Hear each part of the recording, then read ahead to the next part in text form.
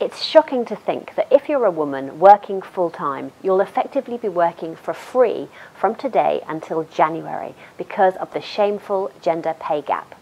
That's because on average, women still earn less than men because of the types of jobs they do, and too few get to the top. This just sends the wrong message about how we perceive all those talented women who make up half of our workforce. That's why we've committed to ending the gender pay gap in a generation so everyone can get on in life. And today, for Equal Pay Day, I'm pledging to get more women on company boards. We've made great progress in addressing gender inequality. We have record number of women in work and women's salaries are rising in cash terms.